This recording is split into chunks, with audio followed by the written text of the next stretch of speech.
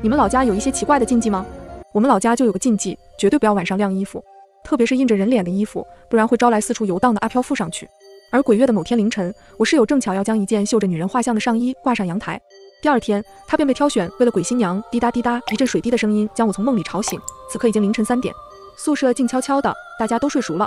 这莫名其妙的水滴声有些瘆人。我们寝室没有通水管，加上今晚过了凌晨一刻就进入鬼月了，大约是白天恐怖小说看多了。此刻我的后背有些冒汗。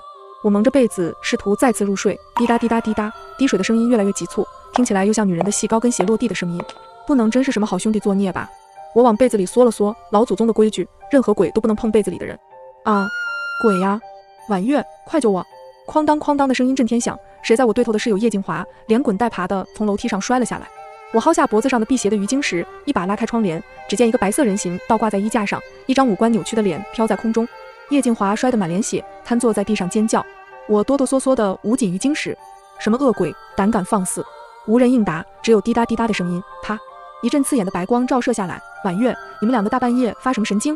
哎呦我，叶静华，你怎么摔成这样了？另一个室友林音端着盆子从门外走进来，打开了寝室的大灯。此刻我才发现，那只悬空的恶鬼只是一件十分精美、绣着一张女人脸的湿漉漉的衣服。我忙下楼将叶静华扶起来，她还在恐惧中没有回过神，全身止不住的发抖。没事，没事，只是一件衣服。我拍拍她的背，安慰她。林音把盆放下，就这件衣服，给你们俩吓成这样。大姐，谁会在凌晨三点晒衣服？何况刚进鬼月，你知不知道晚上晒衣服，还是这种带着人脸的衣服，会招来阴气小兄弟的？凌晨睡眠不足，又惊吓一场，让我有些暴躁。我也不想啊。林音无奈地说道。我对象室友凌晨两点打电话喊我下去，说方旭喝酒掉进了泥坑里，人送去了医院。等我赶过去，他只说人在医院没什么事，让我先把他的外套带回来。我只好将沾满泥土的衣服去水房洗干净。谁知道刚晾上出门，你俩就被吓成这样。方旭是林音的男朋友。我揉揉脑袋，看着阳台上哗哗滴下的水，你确定你拧干了吗？或者你确定你洗干净了吗？听到我的话，林音回头看向阳台，一脸不可置信。整个阳台的地面都是大滩大滩的黑色的水，上面飘着亮亮的油星，像是尸油一般，散发着阵阵恶臭。我刚才在水房看着，明明都洗干净了，我还多打了好几泵洗衣液，怎么会？林音呆立在原地。而我怀里的叶静华依旧惊魂未定，小声呢喃：“不是衣服，不是衣服，是女鬼。”林音跳了起来，一把搂住我的肩膀，轻轻推了推我怀里的叶静华：“静华，你是不是在开玩笑？大晚上的挺瘆人的。”而叶静华如同魔怔了一般，一直重复：“那张脸就是鬼脸。”林音被他说的越来越害怕，缩在我身后。该不会我对象在河里遇上什么水鬼了吧？水鬼附着在衣服上，婉月，我怎么越看那张绣着的脸越觉得诡异？就婉月，你看他是不是在笑啊？林音惊恐的尖叫着，一惊一乍，吵得我也觉得瘆人的紧。算了，也不能一直这样，我去看看吧。我站起身子，在桌子的角落拿出一个木盒子，这是我从专门做阴阳先生的大伯那里顺走的东西。我慢慢抽开盒子，里面是一盒黑土，是埋葬死尸的顶上土。将这种土和泥涂于眼皮，再将土撒到邪物上，便可阴阳互通，看见阴物。我倒进一瓶盖的矿泉水，一点点涂上眼皮，一手握着鱼晶石，因为心底有些发虚，我只得一步步慢慢挪过去。就在我将要走到的时候，啪！啊，鬼呀！我的心被刺激的仿佛开了三百迈飙车，那件衣服突然掉在了地上，把他们两个吓得再次尖叫。我舒缓了一口气，把食指放在嘴边，嘘，别叫了，你俩再这样大惊小怪的，小心鬼不耐烦先拿你们两个下手。他们两个害怕的消停了下来，而我看着泡在污水里的衣服，将手中的干土一点点撒上去，屏息凝神，我一丝大气也不敢出。鬼月任何邪祟的力量都会加强，千万别是好兄弟光顾，千万别是我在心里默念，只敢微微眯着眼。突然，手中的鱼晶石开始剧烈摇晃，看着晃动的鱼晶石。我吓得大叫一声：“卧槽，鬼呀！”后面两个人听见我叫，更加撕心裂肺的开始尖叫。停！我试图稳住呼吸，睁开全部的眼睛，左胳膊压着使劲颤抖的右胳膊，手中的鱼晶石丝毫不动。而我窥视四周，无论是衣服还是绣花人脸，都没有附着什么东西。悬着的心终于放下了，我愧疚地看向身后吓得脸色发白的俩人：“不好意思，刚才看错了，不是石头动，是我的胳膊发抖。”此时有人在走廊上大骂：“你们寝室鬼哭狼嚎的，还让不让人睡觉了？有没有点素质了？”我跟他们一一道歉。回到寝室，我们三个回过神，仔细复盘，一致认为是因为林一没把衣服洗干净，而静华眼睛近视看差了。总之，没有什么邪祟，此事也就不了了之了。一夜的折腾让我直接睡到了第二天中午。婉月，婉月，我被人从梦里摇晃醒过来，刚刚睁开眼就看见他一张惨白的脸，面色难看，毫无血色。我吓得惊坐起来，卧槽，什么鬼？片刻回过神来，才分辨出面前的是林音，与他平日里精致的模样完全不一样。你这是咋了？脸色这么差？他面色复杂的看着我，然后抿了抿唇。我刚才在食堂碰见了昨晚给我送外套的我对象的室友万明宇。我长舒一口气，我还以为什么大事呢。遇见就遇见呗。要说昨晚的麻烦还是因为他，你咋不骂他一顿？林音却突然拽住我的胳膊，面色越来越难看，声音发抖。可是他说他昨晚压根没有见过我，那昨晚给我送外套的是谁？我吓得后背一凉，看着面前害怕的失魂的林音，我尽量保持镇定。你确定昨晚见的就是他吗？他重重的点点头。虽然我刚睡醒了，有些迷糊，但是我还是能分辨得出来的。况且这衣服就是我对象的衣服。他急得眼泪就快冒出来了，不停地捶着自己的大腿。都怪我了，就不应该半夜出去。我拦住他，现在不是懊恼的时候。或许他是跟你开玩笑的。这样，你先联系联系你对象，看看他醒来没，问问他什么情况。我给我大伯打个电话，他可是老牌道士，有他在，一定不会有事的。他擦了擦眼泪，点点头，我们就开始了分头行动。我拨通电话，把情况快速讲给大伯。他紧皱眉头。鬼月初一送鬼衣，恶鬼七日后要娶妻。鬼月夜横死的未娶妻的鬼，常常心有不甘，寻找陪伴。怕是你们寝室那丫头已经被恶鬼盯上了。我嗫嚅着说：“可是昨天我已偷你的黑土和泥敷衍，并没有看见什么东西。”大伯突然瞪起了眼睛：“死丫头，偷土这事改天再跟你算账。鬼衣只是沾染了鬼气，并不是阴物实体，气只能靠感应，并不能一眼视之。怪不得昨天我看不见什么邪物，我的鱼晶石却动个不停。那件衣服应当是从那心死的鬼身上吞下的，带着他的鬼气。衣服上的绣着的人脸，就是他心仪的新娘的模样。我看向阳台上那件诡异的上衣，昨晚还未细细打量，今天这么仔细看看，上面绣的女人脸，虽然诡异扭曲，但是五官倒是真的与林音有些相似。诡异悬挂之地，便是新人婚房。如今被选定的鬼新娘与你们两个同住，你们寝室变成了婚房，你们两个默认则成为了送嫁童女。丫头，这件事可麻烦了。我心头一紧，只觉得毛骨悚然。如果真如大伯所说，林音的男朋友方旭现在应当已经死了，而林音则成为了他的鬼新娘。在一番商定后，我们找到了破解的方案，赶在娶亲之前定制四个纸扎娃娃，将我们三个和鬼新郎的八字分别贴上去，将鬼衣套在贴有新娘八字的身上，然后将三个娃娃的手分别和新郎捆绑到一起。切记不要给新郎的娃娃点上眼睛，他看不见，更容易混淆视听。大伯叮嘱我，娶亲当晚，你们三个以黑狗血混着朱砂涂抹到脸上，足可以迷惑那只恶鬼。如此浑水摸鱼，那三个纸扎娃娃便可以替你们挡下这一劫。我将大伯的叮嘱一一记下。事情有了头绪，我起身想找林音商量。林音，你别联系你对象了，方旭可能已经出事了，快把他的八字告诉我。还没等我问出口，只见林音瘫坐在地上，面色苍白。婉月，我男朋友出院了。什么？刚捋顺的思路重新被打乱，她男友方旭没死，那鬼新郎是谁？我看向身体止不住发抖的林音，方旭告诉我，那晚真正掉进河里溺死的是他的室友万明宇，死亡时间是凌晨一点，可是万明宇给我送衣服的时候是凌晨三点，而且今天上午我又遇到了他，你说会不会是他的魂已经缠上来了？我脑子轰鸣作响，衣服是林音对象方旭的，死的却是万明宇，万明宇死了，却选定了自己室友的对象做鬼新娘。莫非林音与万明宇有什么仇怨？我将大伯的话全部复述给林音，他控制不住的全身发抖。你平时和万明宇熟悉吗？我问。他已经害怕泣不成声，手死死的把住我。我们也只是见面打招呼的程度而已。况且万明宇自己有女友，为什么要选定我？婉月，你救救我！我不想做鬼新娘。我将他扶起来，他整个身子软塌塌的，站也站不稳。我刚把他扶到椅子上，静华推门而进，他已经从昨晚的惊吓中缓了过来，看见林音这副样子，走上前关切的询问：“这是怎么了？”林音。林音抿了抿发白的唇，说话依旧不利索。方旭的室友万明宇死了。砰！静华手中的杯子突然摔碎到地上，她慌乱地蹲下身子捡碎片。你没事吧？怎么这么不小心？我拿起墙角的扫帚上前清理，手没拿稳。我瞥见他的手指被划破，鲜血往下落了一地，可是却好似毫无痛觉般低着头一声不吭。算了，你快去处理一下手指，别再感染了。这里我来处理。我将他扶起来，他眼圈红红的，木讷地走到了椅子边。我叹了口气。这两天的事情来得太突然了，他们两个精神被折磨得有些萎靡，得尽快解决了。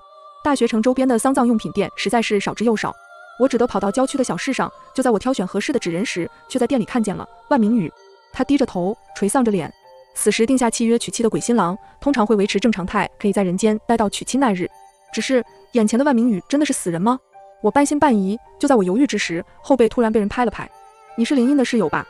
这人的掌心冰凉刺骨，让我全身战栗。万明宇走到了我身后，我僵着脖子缓缓回头。是啊，好巧，你怎么在这里？他扬扬手中的纸元宝，一脸遗憾。我来买这个，你让林音节哀顺变吧。人死不能复生，他应当是不好受的。什么意思？他的话让我有些摸不着头脑。方旭死的确实有些突然，也不知道怎么了。那晚喝了酒，他就栽进了河里。救护车来的路上遭遇了状况，也错过了最佳的抢救时间。怎么会？他见我有些不相信，拿出了当晚的死亡证明，还有一张照片。方旭躺在病床上，奄奄一息。当晚就是我陪着他去的医院，我亲眼所见，我发誓没有说谎。看着他一脸真诚的样子，我已经听不进去他后面说的什么了。方旭死了，可是方旭的说辞是万明宇死了。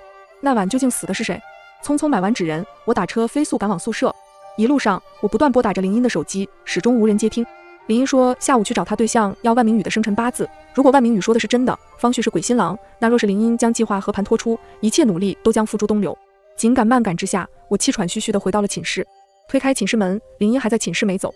我扶着门框，一边喘气一边说：“林音，事情有变化，先别和方旭说。”他端坐在椅子上，一声不吭。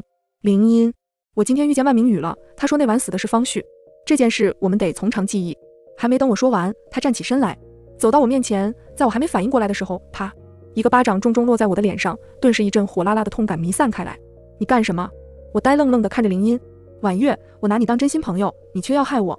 万明宇，呵呵，万明宇给了你多少好处，让你帮他一起害我？说完，他瞥了一眼我手中的纸人，猛地夺过去，不顾我的阻拦，拿起剪刀剪了个稀巴烂。你方才出去就是跟万明宇商量着怎么害我呢吧？我气急，一把将他推倒。林音，你倒是说说我要怎么害你？我跑了一下午，为了帮你解脱厄运，回来你就发疯。他从地上站起来，打开手机，我不耐烦地看向他的手机屏幕，一张照片看得我毛骨悚然。万明宇死相极惨地躺在草地上，脸上挂满水草和泥土。你好好看看，那晚死的到底是谁？我皱起眉头，这照片是哪里来的？林音冷笑一声，关上手机。方旭的爷爷就是阴阳先生，他来学校探望方旭，刚好碰上我去找他，我将所有事都和他说了。纸人招魂引路，红线牵着锁两魂，就算是万明宇眼瞎也能找到我。婉月，我到底哪里招惹你了？你非要出这种邪招数？他越说越激动，可是大伯不会骗我，况且万明宇也拿出了证据，究竟该相信谁？就在这时，我的手机响了，是万明宇发来的信息。方旭的爷爷练的是邪术，林音估计已经被他蛊惑了，你可千万不要被他哄骗。不出意外的话，今晚他就会招方旭的魂，就会去找林音行床事，阴阳交合，让林音吸收更多鬼气，让他可以更早行阴婚。喂，我跟你说话呢，方旭的爷爷自然会帮我摆平这件事，而你我会报告给导员，等着受处分吧。我看着手机上的信息，心中万分不安。我薅下辟邪的鱼晶石，塞进了林音手里。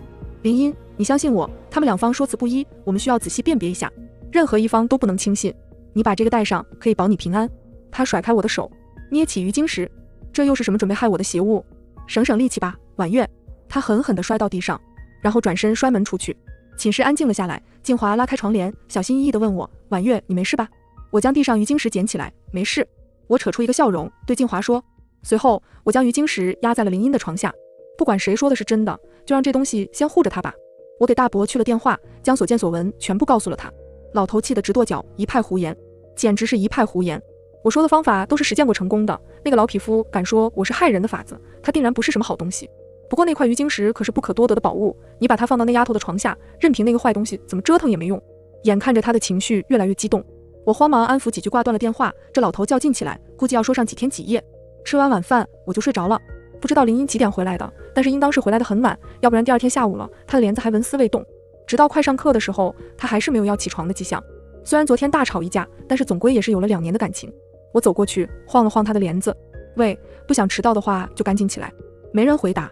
我又拍了拍他的床板，醒醒，依旧没有声音。我觉得有一丝不对劲。平时寝室有点什么风吹草动，林音就睡不安稳。这次我这么大动静，他竟然毫无反应。林音，我一把拉开窗帘，眼前的景象再次冲击了我。林音全身赤裸的躺在床上，头发散乱，被汗水浸湿贴在脸上，而他下身的被子湿了大片。他面色绯红，神色迷离，身体还不安分地扭动着。倘若靠得近一点，还能闻到丝丝恶臭。这种场面不用想也知道经历了什么。万明宇的昨天的警告是真的，可是即使是这样，我昨天已经在林音的床下提前放下了鱼晶石，怎么还会这样？我将林音扶起来，婉月，林音她这是怎么了？静华被吓得后退几步，我来不及和他解释，让他帮我拿来角落里我用来驱蚊的白酒，猛灌一口，噗！我大口吐在他脸上，他身体慢慢安分下来，脸色痛苦的呻吟着。我伸出手在他床下抹撒，奇怪，我昨天明明把鱼晶石放在这里的，怎么什么都没有？就在我不停探找的时候，林音猛地坐了起来，把我们俩都吓了一跳。静华更是连连后退，小心！我提醒他，但是他还是被背后的椅子绊倒了。咣当！在他摔倒的瞬间，一个东西从他怀里滚落在地。我紧皱眉头，看着地上的东西慢慢滚到我脚边，因为那是我的鱼晶石。静华慌张地扑过来摸索，婉月，不是的，我弯腰捡起它。静华，你为什么要拿走鱼晶石？他逃似的推开门跑了出去，我来不及追。一阵猛烈的咳嗽声响起，林音慢慢睁开眼。婉月，我倒了一杯温开水递给他，他猛地推开，水杯掉落在地。你要怎么才肯放过我？他朝我嘶吼道。亏我还相信你是被你大伯所骗，并不是真心要害我。可方旭的爷爷跟我说，你今晚就会联合万明宇对我下手。果然，婉月，你到底为什么要这么对我？他痛苦地抱住头，疯狂地拍打着脑袋。你知道吗？昨晚万明宇入了我的梦，扒开我的衣服折磨我。他说我逃不过了，我必须成为他的鬼新娘。又是万明宇，可是昨天下午，万明宇说方旭爷爷会招魂来与林音行床事的是方旭。若我死了，我必定拉你下地狱。林音还在疯狂地叫着。我拿出手机联系万明宇，可是昨天还叽叽喳喳的人，如今一声不吭，仿若人间蒸发。我决定会会林音口中的方旭爷爷。我点上了特调的香，林音在一阵宣泄后又躺了下来。我从他手机上找到了方旭爷爷的地址，是一家偏僻的民宿旅社。我循着地址找了过去。一个穿着藏青色麻布套装的枯瘦老头躺在院子的椅子上，腰带上别着一个精巧的葫芦。还没等我走近，他就睁开了眼睛，远远地盯着我，示意我坐下喝茶。丫头，你脖子上的鱼晶石属实是精致。他开口朝我说话，从颇有灵气的鱼仙身上取下的吧？我点了点头。他缓缓坐起来，将腰间的葫芦把玩在手里，眼神变得阴沉且凌厉。若你不管闲事，这块鱼晶石可护你度过此劫。但是你偏偏生出了多余的仁爱之心，卷入这场是非。我心下一惊，握着茶杯的手抖了又抖，一不小心将茶水溅了他一身。抱歉，抱歉。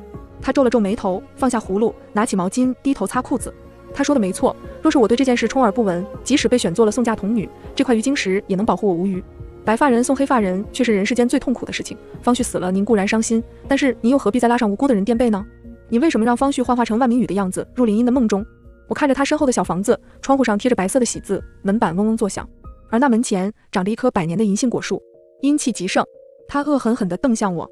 我很讨厌爱管闲事的人。特别是管我的闲事，既然你这么爱管闲事，你也跟着死吧。我抿了抿唇，站起身来。既然我和您说不通，那就等娶妻当日见分晓吧。他笑了笑，你以为你以纸人替嫁那些小伎俩新郎就找不到你们了？老丫头，奉劝你今早离开那个是非之地。我们井水不犯河水，想来你背后之人也是有些本事可以保你的。我头也不回，不劳烦您费心了。我回来的时候很晚了，刚到寝室就听见静华床上窸窸窣窣的声音，伴随着难以启齿的娇喘。糟了！我拉开她的帘子，扑面而来一股恶臭。和今天中午林音的状况一模一样，我如法炮制，让她尽快安静下来，但是却仍旧是没什么效果。该死的，没有意识。我念起醒魂咒，又举着香在他头上转了三圈。静华似乎很痛苦，四处拉扯。万明宇，快点恢复心智！我大声一吼，突然静华的身体一抖，一团黑气飞出，伴随着呜呜咽咽的哭声在屋子里乱窜，落在静华手边的手机屏幕上，屏幕亮起，页面滑动，一张照片出现在屏幕上，一个男生和一个女生，半靠近半远离。男生捏着衣角，局促又羞涩的涨红了半张脸，笑看着女生。是万明宇和静华的高中合照。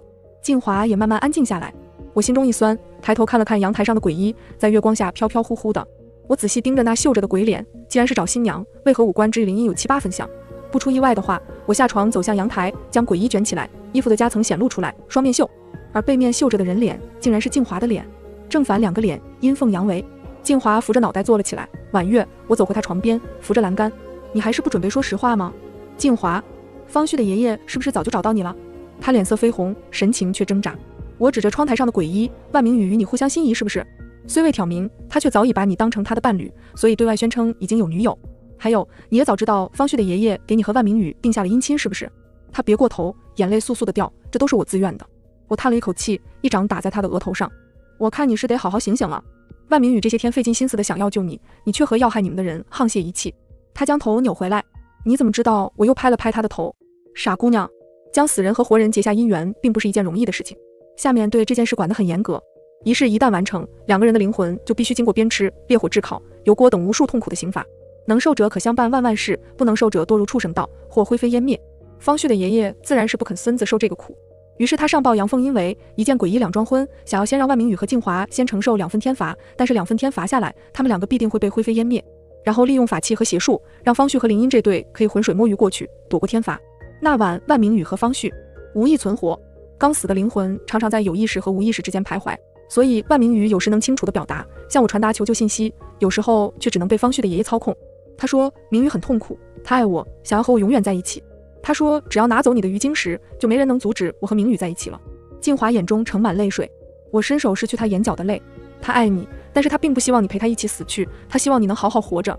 我去买纸人那天，遇见的是逃出来的万明宇。他说他被方旭的爷爷用邪术拘禁，他求我能帮帮他，解除你们之间的婚约。他想让你开心的活着，可是没想到你早就被方旭的爷爷蛊惑。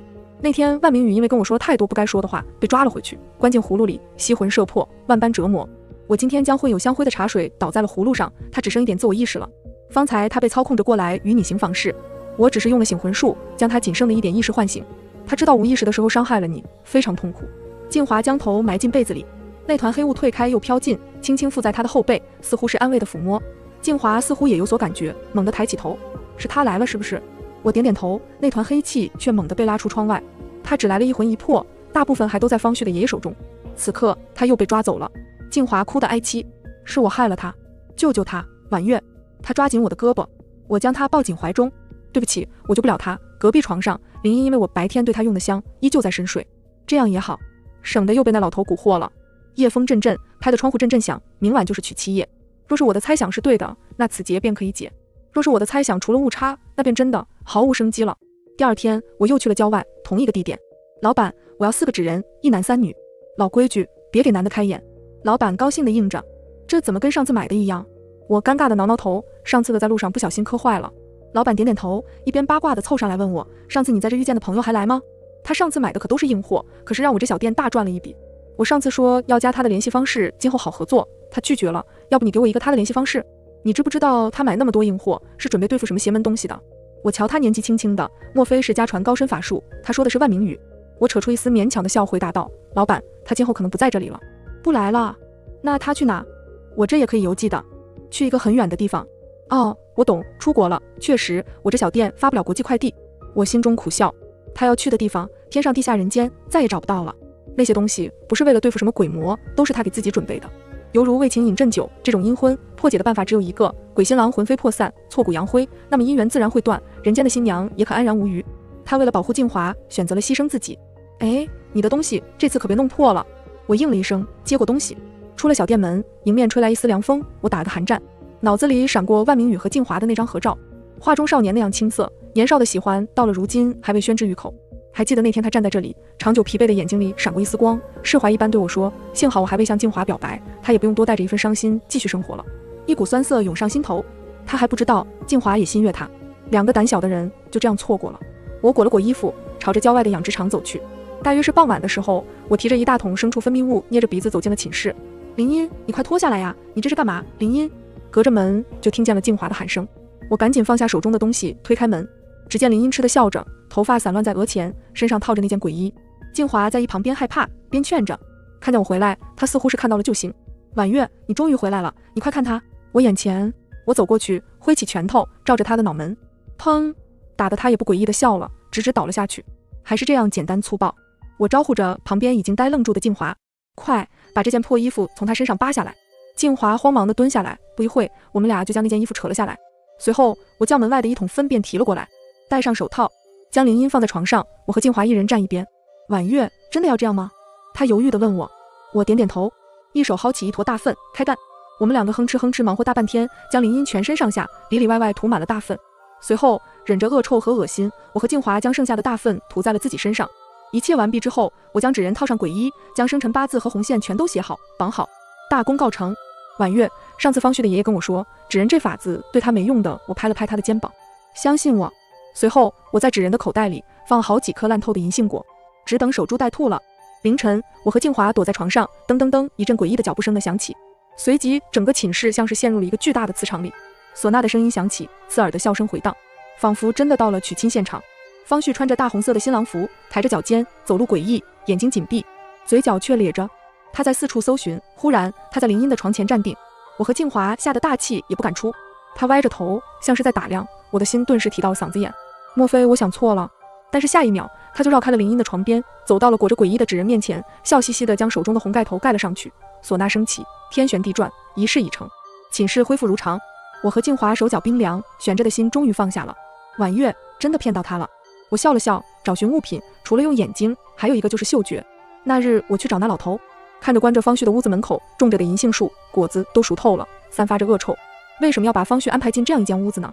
就是为了锻炼他的嗅觉。而林音和静华被算进那天扑面而来的臭味，也是熟透的银杏果臭味。第二天，林音醒了，她脸色很不好，似乎是做了一场噩梦。她走到我身边，对不起，婉月，我都知道了。我大手一摆，原谅了她。那香虽然让她熟睡，却也没有拘禁她的意识。发生的一切，她都知道。没事，原谅你了。但是我不原谅你。